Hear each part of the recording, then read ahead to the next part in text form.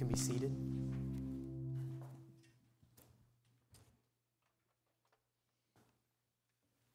If our children want to go ahead and be dismissed, they can go ahead and do that now.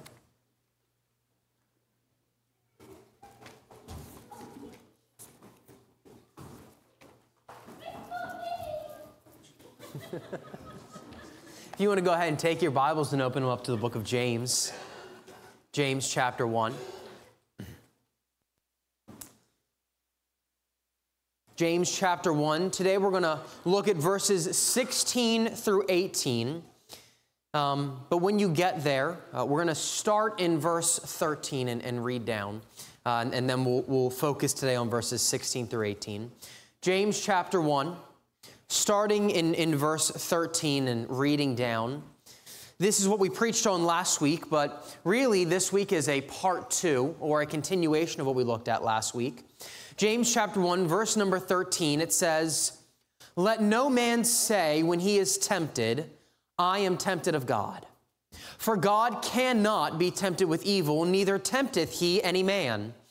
But every man is tempted when he is drawn away of his own lust and enticed. Then when lust hath conceived, it bringeth forth sin, and sin, when it is finished, bringeth forth death. Do not err, my beloved brethren. Every good gift and every perfect gift is from above, and cometh down from the Father of lights, with whom is no variableness, neither shadow of turning. Of his own will begat he us with the word of truth, that we should be a kind of first fruits of his creatures. Let's pray and we'll get started this morning. Heavenly Father, Lord, I thank you. Lord, I thank you for the chance to open up your word. Lord, that we live in a country where we can freely preach your truth. Lord, the truth of this word. Uh, Lord, I, I do pray uh, that, that your word would be preached this morning, that it would not be uh, my uh, uh, thoughts, Lord, that it wouldn't be my stories, Lord, that it wouldn't be uh, anything to do with me but Lord, that it would be all about you. Lord, I pray that you would be what's on display this morning. Lord, I pray that you would fill me with your spirit, Lord, that I would speak the words that you want spoken. Lord, that you would do a work in this congregation this morning. Lord, as you reveal truth about yourself, Lord, that we would grasp it. Lord, that we would internalize it. Lord, that it would change our perspective of you. And as a result, Lord, change how we live our lives in this world. For, Lord, how we view you impacts how we live every moment of our lives. Lord, I pray that we would uh, approach your word this morning with clear minds, uh, Lord, with clean hearts, uh, Lord, that so that you could work uh, in, in soil that is ready for you. Lord, I pray that you would be with me, Lord, that you would give me the words to say, Lord, that you would open the hearts of those that are sitting in this congregation. Lord, perhaps there are those in here, Lord, that have been turned off to you. Lord, whose hearts have grown hard and cold and far away from you. Lord, who come to church merely as a formality uh, and not because they need it, Lord, not because it is a desire of theirs. Lord, I pray that if that is someone here, Lord, that you would soften their heart this morning. Lord, that they would see that uh, you are not far off, Lord, that you are not hard towards us, uh, but that you love us. Lord, that you have thoughts of good toward us. Lord, that you love us enough to send your Son to die for us and for them. Lord, I pray that you would be honored and glorified. Lord, I thank you for so great a salvation that you have given to us. And all this we pray in the name of your Son, the Lord Jesus Christ. Amen. Uh, we're going to read verses 16 through 18 uh, as we go through our service. Um, but as I said, we backed up to verse 13 this morning because today is really a continuation. Uh, James is really completing the thought or uh, continuing the thought that we started on last week. Uh, last week, we, we looked at verse 13 and we have spent a lot of time up to this point uh, speaking about temptation speaking about trial. Uh, and sometimes uh, we, we realize that there's a different type of temptation, uh, not one that is sent from the Lord to develop uh, His fruit and His characteristics within us, uh, but one that seeks to draw us away from God. A temptation towards sin, a temptation towards evil, to do that which is wrong. And we spoke about how sometimes when we are faced with those situations or when we stumble and fall, our desire is to blame somebody else to point the finger at others around us, or most unfortunately, to point the finger at God and to blame God for our wrongdoings. And we looked at last week how really that's not the case, how we cannot blame God for our wrongdoings. God Himself, uh, in His divine nature, cannot even be tempted to do wrong. And as a result, He never tempts us to, com- uh, to complete uh, or to commit sin. We talked about sin's life cycle within us, how we're drawn away, how our eyes are pulled off of God, and how that brings us to a place where we do sin, and how sin always inevitably ends in death. And so, James, uh, continuing this thought in verse 16, begins to set the tone uh, for everything that we're going to look at this morning. That's really what verse 16 is doing. It is setting the tone. He says, Do not err my beloved brethren. Uh, he uses the word err and he encourages us not to do it. Uh, to err is to be led astray, to be deceived, uh, to get something wrong. James is saying, hey, let me get your attention. Don't get this wrong.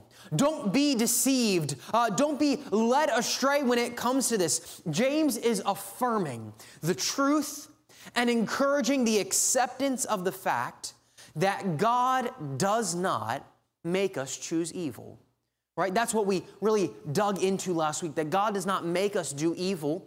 Uh, and because there's this natural temptation in us to think that God is the one that's caused us to do wrong, he doubles down on the fact. And he says, Don't get this wrong. Do not be led astray. Do not be deceived either by your own self or by those around you. God is not the author of sin. Why is he doubling down so much on this? Why is he drawing attention to it after he just did so in previous verses? Well, that's because our understanding of God is what sets us apart as Christians. On Sunday nights, we've been taking time to explore doctrine uh, and to look at what defines us and shapes us as Christians, as followers of Christ, as people that are subjected to this book. Uh, and two weeks ago, we looked at the fact that if somebody believes something different, that that should be an issue for us that there should be a separating or a division because they believe something separate about what God's word says. You see, our understanding of God is what sets us apart as Christians.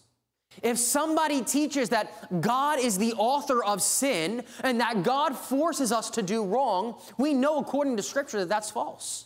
And as such, there should be some distance between us and that body because there's a disagreement about what God's word says. Uh, take your Bibles and, and open them to Second Corinthians chapter 11.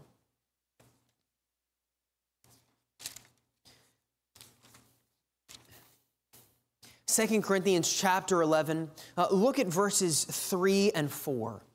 Uh, Paul warns about this very concept uh, that really James is driving at. Do not err.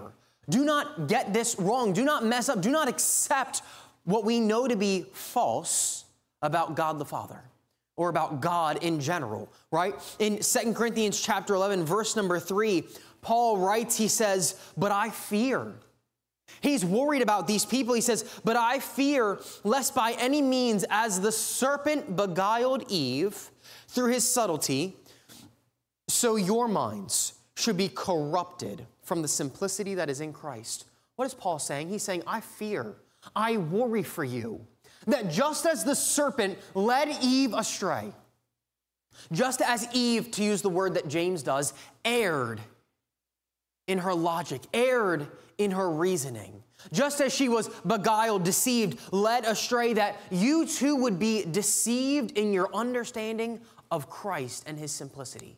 He goes on in verse 4 to say, For if he that cometh preacheth another Jesus, whom we have not preached, or if ye receive another spirit, which ye have not received, or another gospel which ye have not accepted, ye might well bear with him. Just this morning, uh, Brother Joe was, was asking for prayer for protection from false teachers.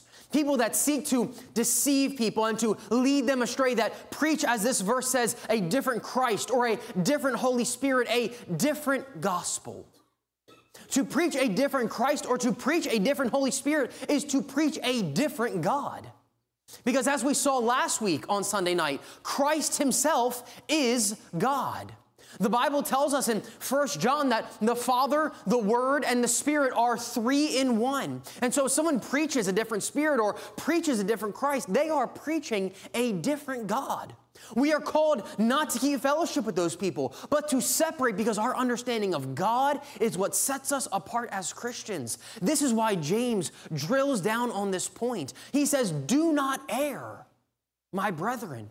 Speaking to people like you and me, not a lost world, but Christians, save people that might be easily led astray by false teachers.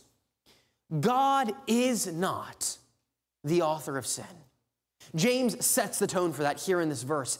In fact, he is rather the opposite. And that's really what we're going to see in verses 17 and 18 if we turn back to our text. James chapter 1 verse 16 he says, "Do not get this wrong. Do not err, my beloved brethren. God is not the author of evil. Rather, he's quite the opposite." If we read in verse 17 it says, "Every good gift and every perfect gift is from above." And cometh down from the Father of lights, with whom is no variableness, neither shadow of turning. Uh, in verse 17, uh, James begins to show us who God truly is. While we might be tempted to assume or think that God is the author of evil, he says, don't think that. Don't, don't get that wrong. Don't get messed up in that area. In fact, to help you out, I'm going to show you what God is truly like. I'm going to show you who the Lord is truly when it comes to you and when it comes to me. We see who God truly is in verse 17. We see what comes from him, what it is that he gives us. It is not temptation towards evil that he gives us. No, verse 17 tells us that every good gift and every perfect gift is from above and cometh down from the Father of lights. It says, when it comes down to what God gives us, he speaks about two things every good gift and every perfect gift. Now, it's under, important for us to, to understand the difference between those two things. Uh, because when we read them in our English Bibles, it uses the word gift twice. Uh, but the truth is, in the Greek, this is two separate words. A good gift is something that's completely different, well, maybe not completely, but is definitely different from a perfect gift. You see, a good gift is a good act of giving. Uh, if I were to speak about uh, tithing and offering, uh, and, and I were to, to have a conversation with someone, you know, Paul talks about this actually, I believe it's in the book of Philippians. Uh, he speaks about the church's giving, uh, the, the giving that they've been doing. He's speaking about their action of giving. That's what this good gift is it is a good act of giving. The perfect gift, on the other hand, uh, is a complete gift. Uh, it is an, an object which is uh, to be possessed, something that is uh, finished in its entirety. It is complete. It is perfect. It is a perfect gift. And so we have a good gift and a perfect gift, a good act of giving and a complete gift. And you, you say, why is this important? Well, it's because there's a lot of different perspectives uh, on what this verse means. Uh, I spent a lot of time uh, this week studying and, and, and, trying to see what it is that the Lord is uh, seeking to show us out of these verses. And really, it comes down to two different views. Uh, and the views are not necessarily opposed with one another. Uh, and so we'll look at both of them. The first view is that these are two parts of one process.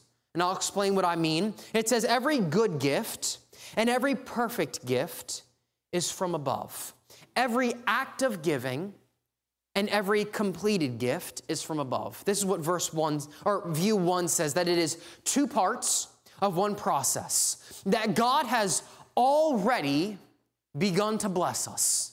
That God has already poured out blessing in your life, the act of giving. And not just that, but He will bring those things, bring those blessings, bring those gifts, those actions to completion, the perfect gift, the completed gift. God has begun to give us things in our life, to give us gifts, to give us blessings, the giving of the gift, and at some point He will complete those. He will give them to us in their entirety. Two parts of one continuous process. This is view number one. We can really see this view take place a number of places in the scripture. Uh, take your Bibles and open up to Philippians. Philippians chapter 1. Philippians 1, verses 6 and 7. Paul, writing to the church at Philippi in Philippians chapter 1, verse number 6, he says, Being confident of this very thing, that he which hath begun a good work in you will perform it until the day of Jesus Christ. He goes on in verse 7 to say, Even as it is meet, or even as it is appropriate for me to think this of you all, because I have you in my heart, inasmuch both in my bonds and in defense and confirmation of the gospel, ye are all partakers of my grace. What is Paul saying? He says, I have confidence of the work that God has started in you the good gifts that God has began to plant in your life and cultivate and grow so that you might be a good witness of Jesus Christ. He says, I have confidence. I am assured of the very thing which God has done, which is a good work which He has put in us, that He will perform it or He will bring it to completion at the day of Jesus Christ. We see this other places. Take your Bibles and open up to the book of Romans. Romans chapter 8. We were in this verse uh, a couple of weeks ago on a Wednesday night. Romans chapter 8, starting in verse 28.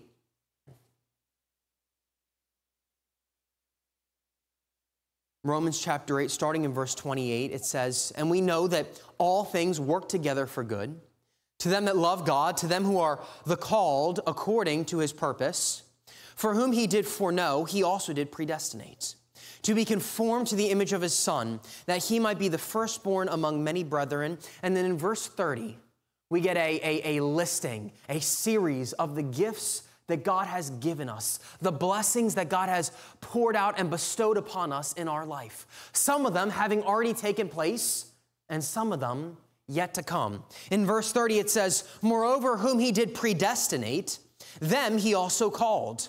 And whom he called, them he also justified. If you're a Christian, these are all gifts that have already taken place in your life. God has foreknown you, God has predestined you, God has called you to salvation, God has justified you, He has declared you righteous. Someone who at one point was a sinner and was an enemy of God, when you accept Jesus as your Savior, the Bible says that you are justified, that your sinful record is covered by the blood of Jesus, and you are now declared righteous. That is a good gift that God has given you. But the verse goes on, it says, Moreover, whom he justified, them he also glorified. You see, our salvation process is just that it is a process.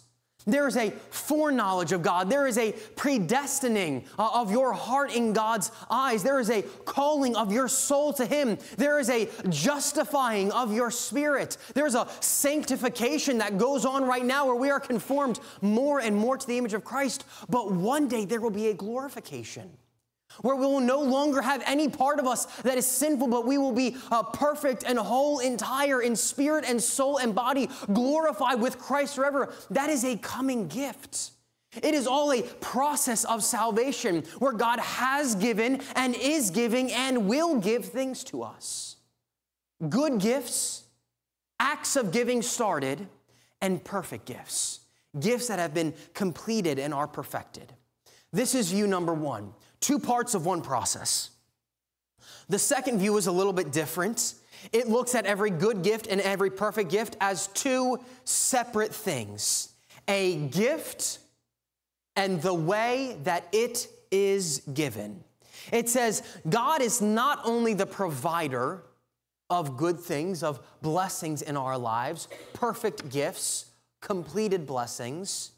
Not only is He the provider of good gifts, but He is also good in the way that He gives them. So, this view is, is, is, a little bit different. God not only gives us good things, but He's so good that He's also good in the way that He gives them to us. Uh, and we'll look at that here in, in, in just a second. Uh, like I said, the first part of this view is that God gives unto us good things. Uh, turning your Bible, if you would, to Matthew chapter 7 see some of the things that God has bestowed upon us as his sons and daughters. Matthew chapter 7, verse number 11.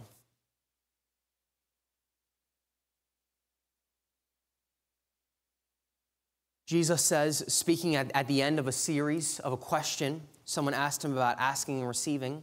Uh, and in verse number 11, it says, If ye then, being evil, know how to give good gifts unto your children, how much more shall your Father which is in heaven give good things to them that ask him? Right here, very clearly, Christ explains that the Father does indeed give us good things. In fact, really, he draws an allusion to just what we looked at last week. We talked about the fact that man is evil, and he says here, man is evil and he can give good gifts. And then contrasting us again, or contrasting the Father against man, really stating that God is all good. He says, If you being evil know how to give good gifts unto your children, how much more shall your Father, implying the fact that he's not evil, but that rather he is all good, how much more shall your Father which is in heaven give good things to them that ask him? Christ says we do receive good from the hand of the Father. Uh, turn to Second Peter. We see what some of these things are. Second Peter chapter 1 verse number 3.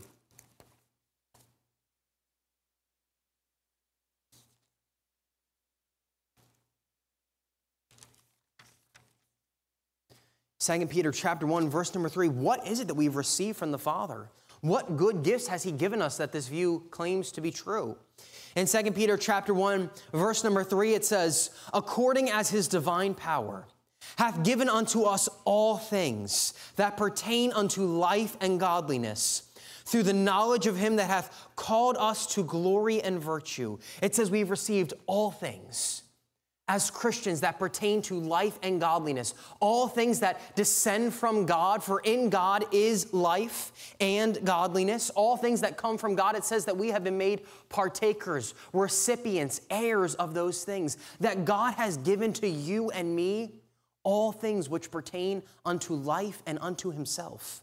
It says, uh, according as his divine power hath given unto us all things that pertain unto life and godliness through the knowledge of him that hath called us to glory and virtue, whereby are given unto us great and precious promises, that by these ye might be partakers of the divine nature, having escaped the corruption that is in the world through lust. It says that we've received great and precious promises from God. That God indeed has given us good things. But as this view says, not only has He given us good things, but He is good and how He gives them to us.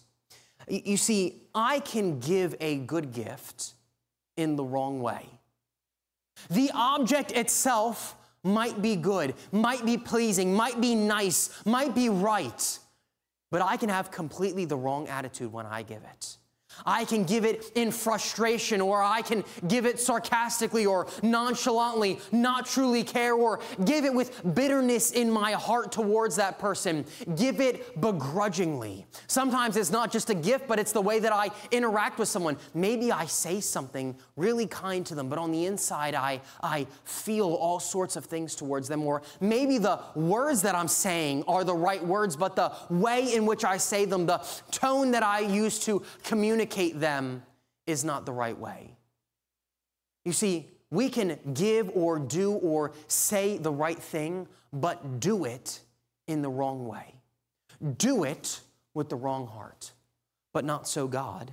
You see, God not only gives us good things, but the way in which He gives it to us, the heart which generates within Him as He interacts with you and me, is always one that is good toward us. Uh, take your, your, your Bibles and, and turn over to Romans chapter 5.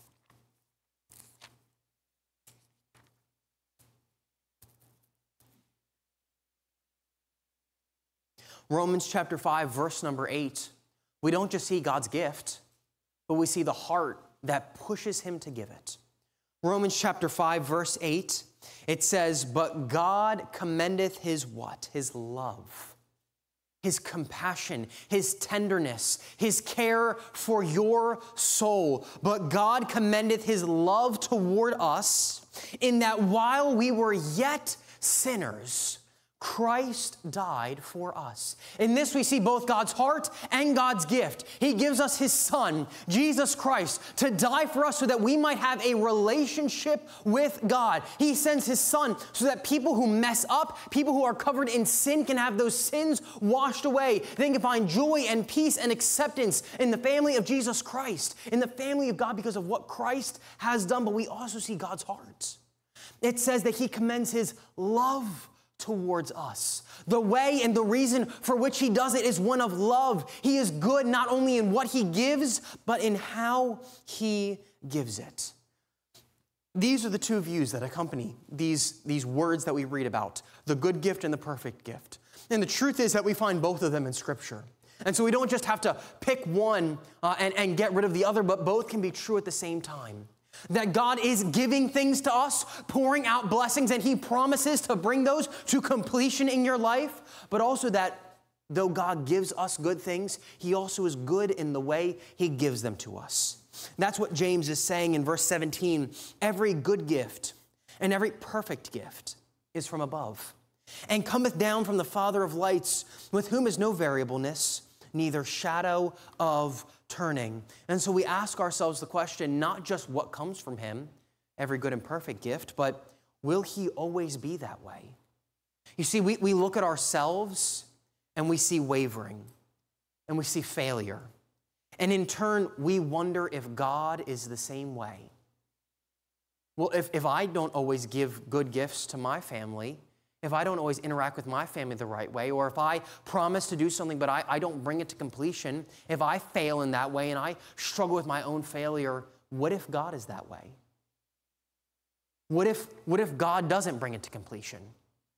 What if God maybe does give me something good, but his heart is angry towards me while he does it? We begin to ask ourselves that question, and yet James answers all of those questions with the following phrase. He says, Every good gift and every perfect gift gift cometh from above, from the Father of lights. What an interesting phrase, the Father of lights. Uh, turn, if you would, to 1 John. We'll get a little bit of clarity on this phrase. 1 John chapter 1, verse number 5. Every good gift and every perfect gift from, cometh from above, from the Father of lights. 1 John chapter 1, verse number 5 it says, This then, sorry, I still hear pages turning, I'll wait. 1 John 1 5, it says, This then is the message which we have heard of him, and declare unto you that God is light, and in him is what? No darkness at all. The Father of lights is just that. He is all 100% completely and totally, purely light meaning that within him there is not a shred or a sliver or an ounce of darkness. Who he is, he is in completion. Who he is, he is in his entirety. He is a God that never wavers, that never changes. And so if it says that God is not the author of sin, but is the author of good in your life, that he is the reason that you have good things and that those good things are brought to completion, he is the reason that good is experienced in your life, we can rest confident and assured that he can and never will change from being that. He is all light, and in him is no darkness, no change, no shadow at all, is what James says. James 1:17, it says, Every good gift and every perfect gift cometh from above, and cometh down from the Father of lights, with whom is no variableness uh, neither shadow of turning. Uh, that word variableness is a Greek word that describes the teeth of a saw. Set uh, like, like a rip saw where one tooth goes this way and the other tooth goes that way, and they're set alternating with each other so that it might cut through something. That's the word that James says. It says, In him is no variableness, no alternating, no turning, no changing from the position that he is. He is fixed in his stance and fixed in his characteristics. God never alternates, God never varies. He goes on to say, In him is no variableness, neither shadow of turning. Uh, this shadow is just that it is an eclipsing, uh, a hiding, uh, a covering. Uh, James Adamson, uh, uh, a Presbyterian pastor, he said, God's benevolence, his goodness, God's benevolence is like a light that cannot be extinguished, eclipsed, or shadowed out in any way at all. Nothing can block God's light, interrupt his flow of goodness, or put us in shadow so that we are out of reach of his radiance. There is no shadow that blocks you from God's light. There is no variableness. There is no alternating within him. There is nothing that can, uh, uh, on God's end, that can pass around him or cover him up that can keep you from experiencing what it is that he has for you. It says that every good gift and every perfect gift cometh down from the Father of lights, in whom is no variableness, neither shadow of turning. When we fail to experience God's light, it's because of the very reasons we looked at last week. There is no shadow or changing or covering or variableness in God. It is because we are drawn away from Him to look at something else by our own lusts and enticed. It says that uh, when our lust has conceived, it brings forth sin, and when our sin uh, comes the end of its term, it brings forth death. But on God's end, there is nothing about him that turns. There is nothing about him that hides. There is nothing about him that removes his light from you, removes his goodness from you. Every good gift in your life is from God. Every perfect gift in your life is from God. Every good act of giving that you have experienced comes from God. God is not the author of evil. No, He is the author of all blessing and goodness in your life, and nothing can ever change that about His nature. That is who James shows that our God truly is. He says, Do not err, my beloved brethren. God is good. And then in verse 18, he begins to show us the proof of his goodness, the greatest and best gift that he has ever shared with us. In verse 16, he says, Do not err, my beloved brethren. In verse 17, he says, Every good gift and every perfect gift is from above and cometh down from the Father of lights, with whom is no variableness, neither shadow of turning. And then in verse 18, he says, Of his own will, begat he us with the word of truth, that we should be a kind of first fruits of his creatures. We saw who God is, and then we see what he has given us. The greatest gift, the greatest illustration and display of God's goodness is that He proves His goodness through the work of regeneration, through salvation, through taking people like me and taking people like you that deserve nothing but an eternity separated from God and giving us new life, giving us salvation, offering to you and me forgiveness from our sins and from our failures. God proves his goodness through this work of regeneration. Uh, take your Bible and, and, and turn over to Ephesians chapter 2.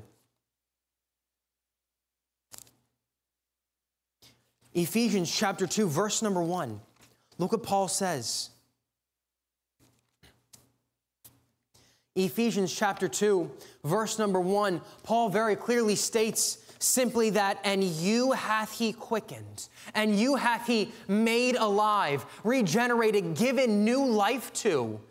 You're not dead in your sins anymore. You don't have to live as a slave to corruption anymore. You don't have to live that old life anymore. It says, And you hath he quickened, made alive who were dead in trespasses and sins if you question whether or not God is good, you need only look at your own regenerated life. That God has made you alive where you were once his enemy and far from him and dead in your sins. Uh, turn over to John, John chapter 5, verse number 24.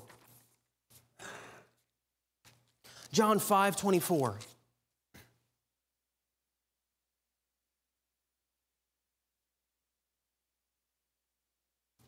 Jesus says in John 5, verse 24, Verily, verily, or truly, truly, I say unto you, he that heareth my word and believeth on him that sent me hath everlasting life, and shall not come into condemnation, but is passed, has journeyed, has been changed, but is passed from death unto life. This is the greatest gift that God has given us It is the gift of salvation that He has enabled us through the sacrifice of Jesus Christ to pass from spiritual death into spiritual life.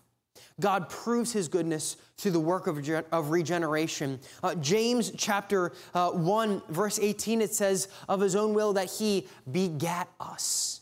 It says He, he begat us, He gave birth to us spiritually. He gave us new life. Uh, look at John chapter 1, verse number 12.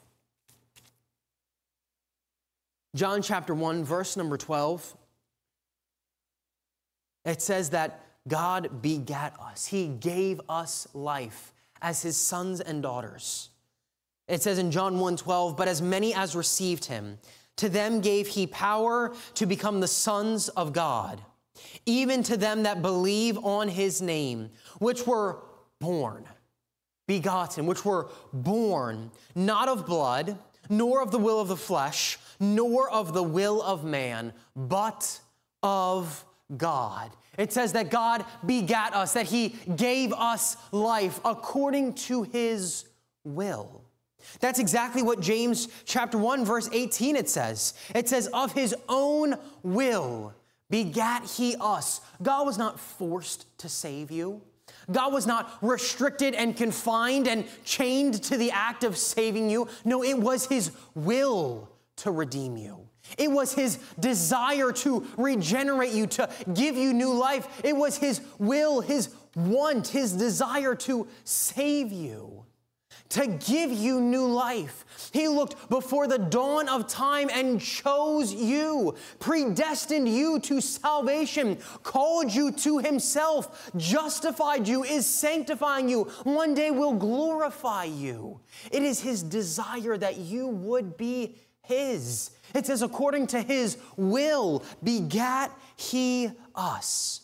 It goes on to say that, that this gift, that it came by the word of truth it says, Of his own will begat he us with the word of truth. What is James saying? He's saying, You've been saved by Jesus Christ. That Jesus Christ is the reason that you have experienced salvation. The truth is, Jesus is the only reason any of us experience salvation. You know, Acts talks about this. Turn here, if you would. Acts chapter 4, verse number 10. Acts chapter 4, verse number 10. Peter and John have been arrested at this point for preaching the gospel, for preaching salvation. And in Acts 4, verse number 10, their response continues. They say in Acts 4:10, "Be it known unto you all, the people on the council, be it known unto you all and to all the people of Israel, that by the name of Jesus Christ of Nazareth, whom ye crucified, whom God raised from the dead, even by him does this man stand before you whole. This is the stone which was sat at naught of you builders, which has become the head of the corner. Neither is there salvation in any other for there is none other name under heaven given among men whereby ye must be saved. Understand what Peter uh, and, and, and John are, are saying here. Understand what James is saying in uh, the first chapter and in the 18th verse that salvation comes by Jesus Christ and by Jesus Christ alone. There is nothing that you can do in your life that earns you salvation. Your parents cannot get you saved. Uh, you going to church cannot get you saved. You getting baptized does not give you salvation or entrance into heaven. It is only by accepting Jesus Christ, by having a time in your life where you have confessed your sins to Him and asked Him to be the Savior of your soul. That's what James 1 12 and 13 said. It said, Not by blood, you can't be born into it, not by the will of flesh, not by you wanting it and trying to make it happen, not by the will of man. Somebody else can't get you saved, but by the will of God. That's what James is saying in this verse. He says, Of his own will begat he us, saved us by the word of truth, by Jesus Christ. This is the greatest gift God has ever given. This is the greatest gift that God is still giving to those that need it. It is regeneration, it is salvation. But to what end? To what purpose? Why did God save us? Well, James tells us in verse 18 Of his own will begat he us with the word of truth, that we should be a kind of first fruits of his creation. It says that you and I have been saved so that we can be a first fruits. You know, this, this, this word first fruits has a, a couple of different meanings. Uh, but really, when someone uh, had livestock or, or had uh, made some money or had some type of possession, uh, the Bible speaks about the fact that the first fruits or the first portion of it, that it belongs to the Lord.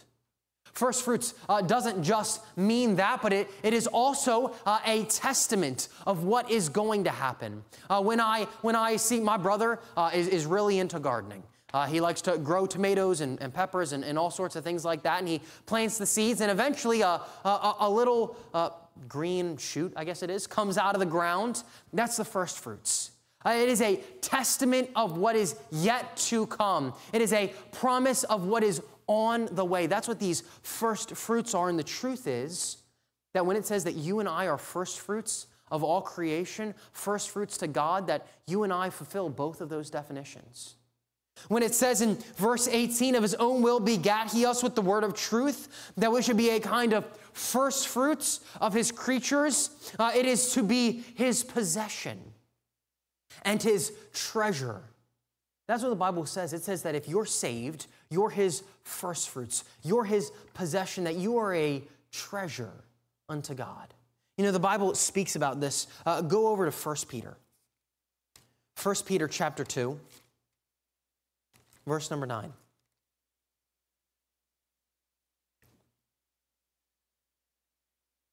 God has saved us to be his first fruits, to be his possession, a people that belong to him, to be his treasure. 1 Peter chapter 2 verse 9 it says, "But ye are a chosen generation, a royal priesthood, a holy nation, a peculiar people." Uh, maybe your Bible says a people set aside for possession. That's what that word peculiar means there, a possessed people.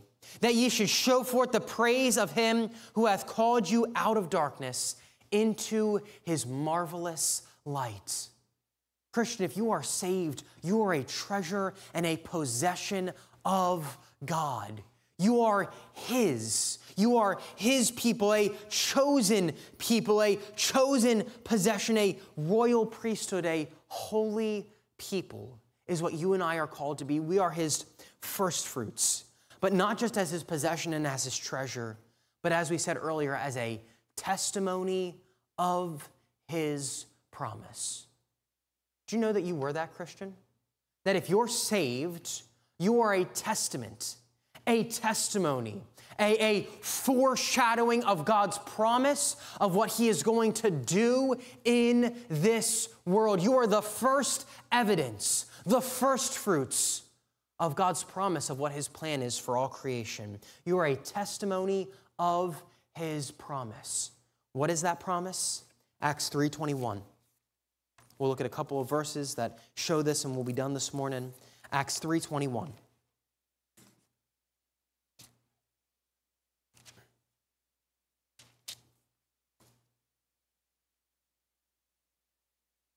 Speaking about Christ in Acts 3:21 it says whom the heaven must receive until the times of restitution of all things which God hath spoken by the mouth of all his holy prophets since the world began. It says, There is a time coming for the restitution of all things, the bringing back, the regeneration of all things. There is a time coming that has that purpose. Go to Romans chapter 8, verse 18. We begin to read more about this time as scripture progresses. Romans chapter 8, verse number 18.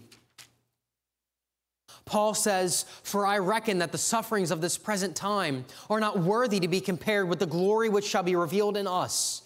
For the earnest expectation of the creature waiteth for the manifestation of the sons of God. For the creature was made subject to vanity, not willingly, but by reason of him who has subjected the same in hope, because the creature itself also shall be delivered from the bondage of corruption into the glorious liberty of the children of God. It says that at some point, creation and its creatures will be delivered from the bondage that it is currently in, the bondage that you and I have already been delivered from because of salvation. Turn to Ephesians chapter 1, verse 10. This promise of regeneration, this promise of redemption is carried on through the New Testament. Ephesians chapter 1, uh, verse number 10.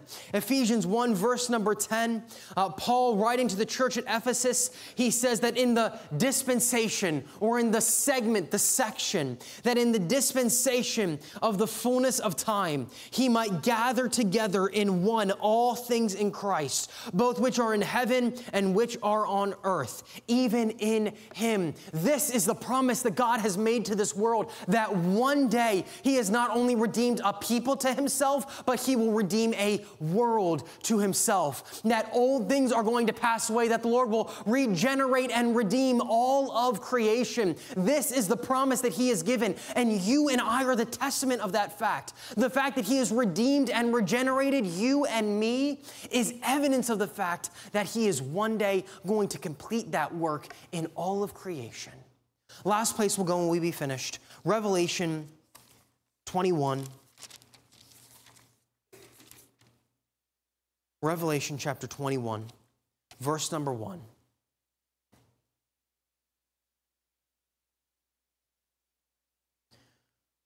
Revelation 21, verse number one, it says, And I saw a new heaven and a new earth. For the first heaven and the first earth were passed away, and there was no more sea. And I, John, saw the holy city New Jerusalem, coming down from God out of heaven, prepared as a bride adorned for her husband. And I heard a great voice out of heaven saying, Behold, the tabernacle of God is with men, and he will dwell with them, and they shall be his people, and God himself shall be with them and be their God, and God shall wipe away all tears from their eyes. And there shall be no more death, neither sorrow, nor crying, neither shall there be any more pain, for the former things are passed away. And he that sat upon the throne said, Behold, look, I make all things new. And he said unto me, Write, for these words are true and faithful. James says, Do not err. Do not make the mistake of thinking that God is the source of evil and sin in your life. Does God bring us through hard times to test us? Yes. And we've looked at that extensively through the book of James. But when we are confronted with a choice of sin, do not ever blame that on God.